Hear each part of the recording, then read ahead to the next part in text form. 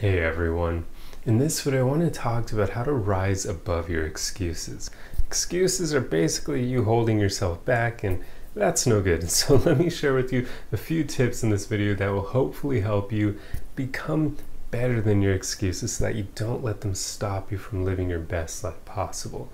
And your whole goal should basically be to practice self love, to get to a place where you love yourself and accept yourself enough that you want what's best for you so many people they're willing to accept a life of mediocrity or things that they don't enjoy because they don't really care about themselves to that level.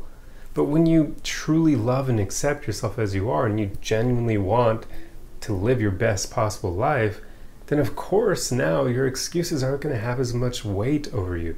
They're not going to be capable of influencing your actions quite in the way that they used to.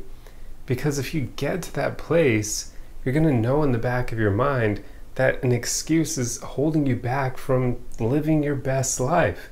And that's not going to be acceptable to you.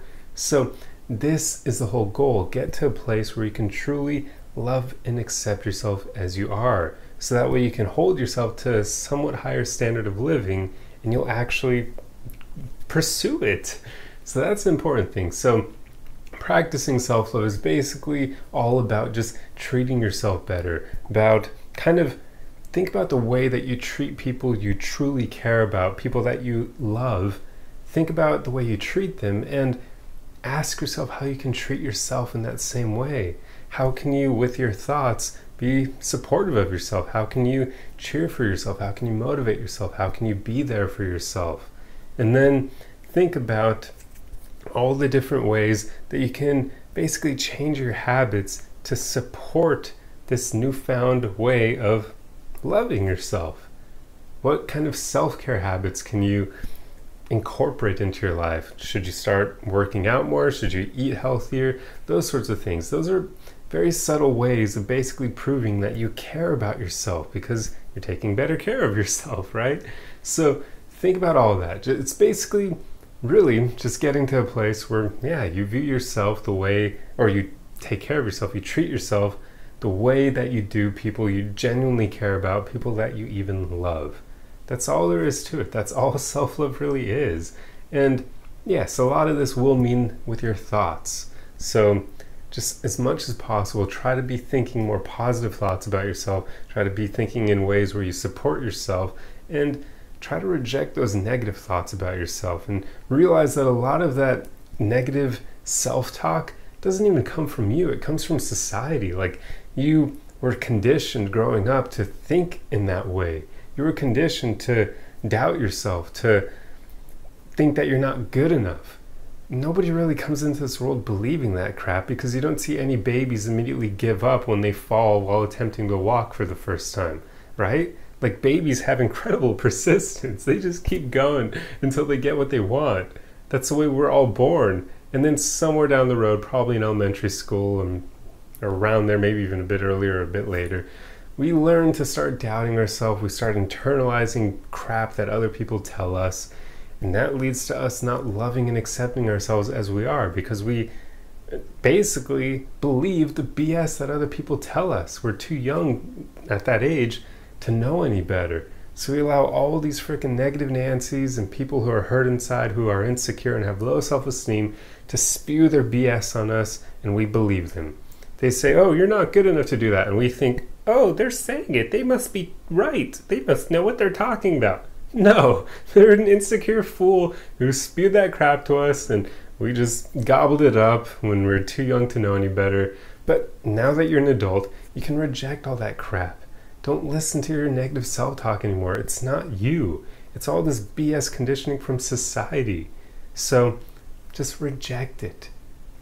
And instead, replace it with a voice that will actually come from you, where you support yourself and you're kind to yourself and you love yourself. I know this, you know, the video started as how to rise above your excuses. But trust me, this will actually work because it's kind of like a counterintuitive way in some regards. I mean, when you really think about it, it, it makes sense how this would work.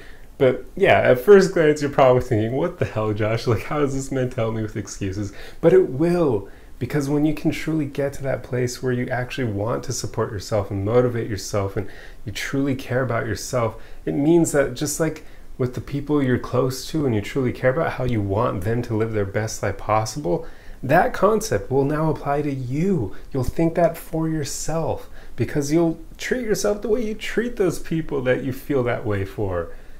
That's the whole gist of what I'm driving at. So, seriously, practice self love. Get to that place where you can truly love and accept yourself as you are, and it'll help you conquer your excuses.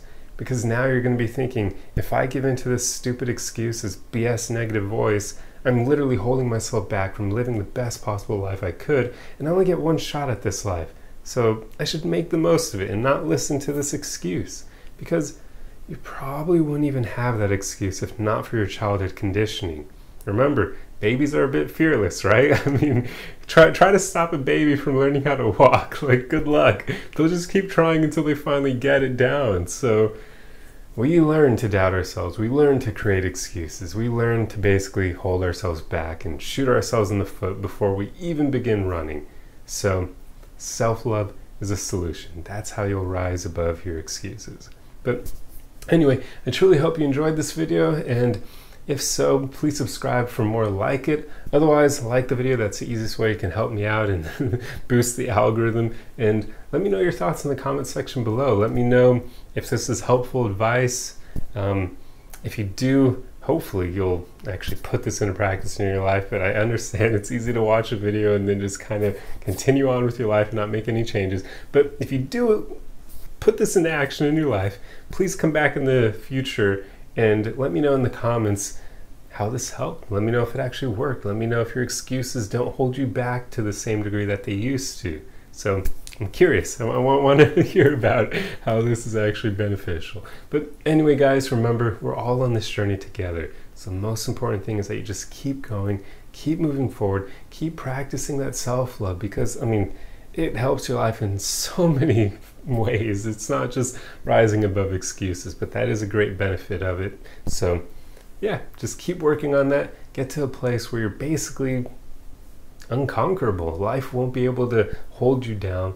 Nothing really will because you'll be motivating yourself. So, what the hell can stop you when you've got that kind of internal self motivation? But anyway, guys, truly hope you enjoyed this video and I'll see you in the next one. Arrivederci!